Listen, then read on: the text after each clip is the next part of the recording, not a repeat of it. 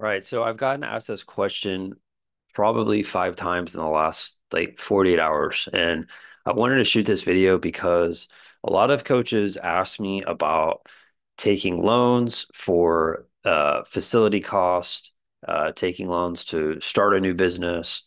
Um, and I just want to give you just a very simple way of approaching this for you and your business. And I think this has helped me so much in my business career um, up to this point. And I've seen coaches that have taken what I'm about to show you, and it really pay off heavily for them. And I've also seen people do the opposite of what I'm about to show you in this video. And I think it's really hurt them, right? So I'm not tr gonna try to say that I'm right, you're wrong, uh, but I have a lot of experience in this business, and I want to try to just teach you a couple of things in this video about taking loans, and is that going to be the uh, the right call for you?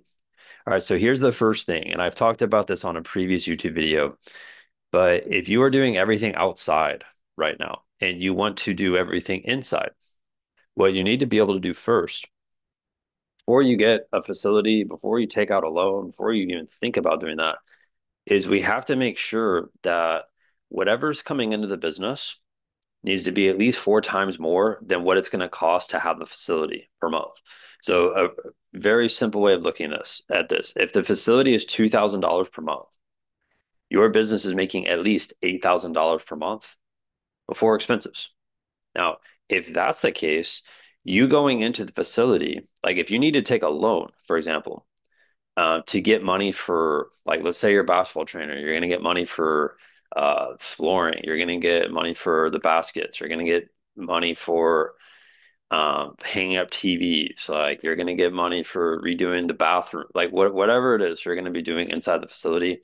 Uh, we need to make sure that there's at least four times of the rent that's coming in per month into the business before you even step in. And the reason why I tell you this is because so many coaches end up getting loans with money that they don't have, meaning they don't have a profitable business where money's just coming in every month. They're just like hoping that money's going to come in. They don't have systems in place. So when they go take a loan, they're putting themselves and their families in a really bad financial position because they're going to have to go pay these loans back. And if you don't have regular income that's coming into the business, those loans become a thousand times more stressful. Okay. So that's my first rule of thumb is four times the amount of rent is already coming into the business before you go into the facility. Now, here's the second thing, and this is so blunt, but this is how it is. Too many coaches that I talk to, they have the dream and they have the ambition to go get a facility. They think that is going to save and change their business forever. The reality is, it's not going to save your business. It's going to put you under a lot more pressure. So, what we need to be able to do is be very smart when you go and actually look at facilities. You need to be smart and look at all the numbers. And oftentimes, and this is what I'm seeing right now in the present day of 2024, I'm in September shooting this video. The most successful coaches that I work with are the ones that have the most profitable businesses. All right, let me say that again. The most successful coaches I've worked with are the ones that have the most profitable business. They're not the ones that have the biggest revenue numbers, right? You can make a million dollars per year in this business, but if your re- if your profit sucks, what's the point? Like, what's the point of all that money? All right, and I know coaches that have very uh, big numbers in revenue, but their overhead is way, way, way, way more than it needs to be. And if they just cut down on that revenue, oftentimes it's having a, a facility that's way too expensive. Um, if they cut down on that, their business is way more profitable without having to get any new clients. Right. Uh, and I'll use a, an example. There's a guy that we interviewed on our YouTube channel. It's a pretty popular interview. His name's Coach Ness. He doesn't own a facility.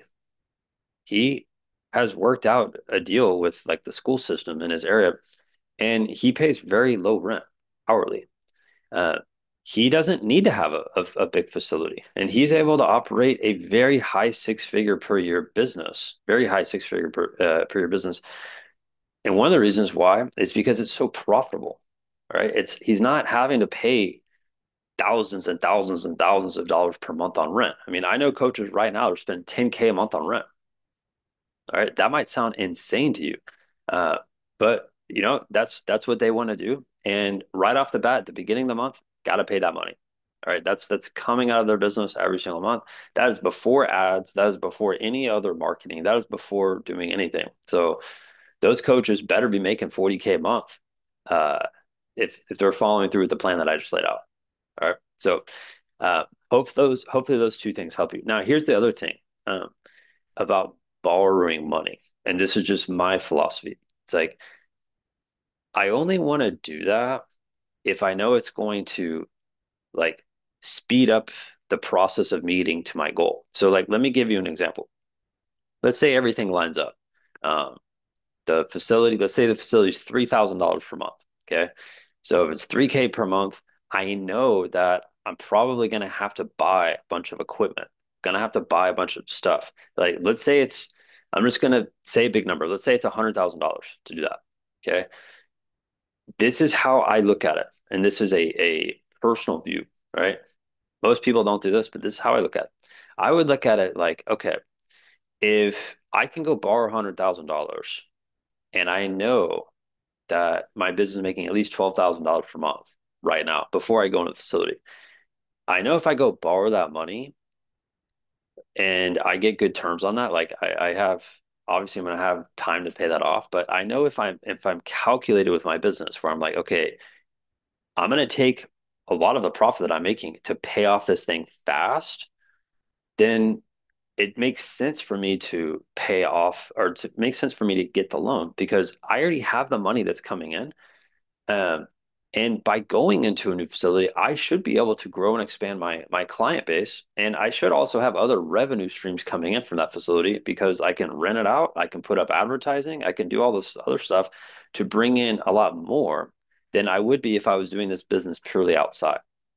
Okay, but getting a loan and that with that sort of mindset of paying it off quickly because I'm going to be drafting from the profits if it's that profitable, it makes sense because I don't go into the loan with a bunch of, of pressure because I'm like, yeah, like I'm going to go borrow this. It's going to pay for all of this stuff and it's going to quickly do that. But the business is already profitable. So like it makes sense for me to take the loan. Now, if that doesn't make sense, then then an even more frugal way of doing it is over the course of a year. All right, let's say your business is doing three times, or sorry, four times the amount of, of what you want to pay in rent. Then over the course of the year, you stash away a lot of the profits. And instead of getting a loan, you use that money to go pay cash. And I would say nine, nine, ten times out of 10 in my life, I don't care what it is, I'm paying cash. And the reason why is because when you pay cash, you have zero stress all you're doing is you're just being smart with your money. Uh, and you're being smart with the profits, and you utilize that to pay for cash versus having to take a loan. And the last thing that I want to say on on this video, if you're just starting your business, the worst thing that you can do is go take a loan. Like this this is not the type of business where you know need to go get a bunch of money to start. And to go get a facility before you have clients, it's that's probably one of the dumbest things you can do. And if you if you watch our channel, you should already know this by now. But like we need to at the beginning of business, we need to focus on getting clients and getting those clients good results and keeping those clients happy so they stay and they bring in new customers and then reinvesting some of that money into ads, reinvesting some of that money into uh, bringing in new customers. Like this this is a business like any other business. Got to have happy customers, um, and you got to be smart with your finances. And to go get a facility on day one, it doesn't matter who you are. I don't care if you're Michael Jordan. I don't care if you're Tiger Woods. Like to go do that from day one is not a good move.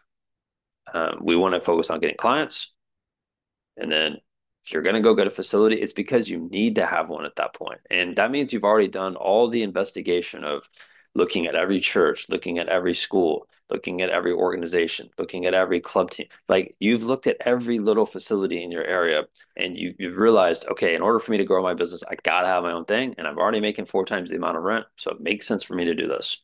All right. So hopefully this helps.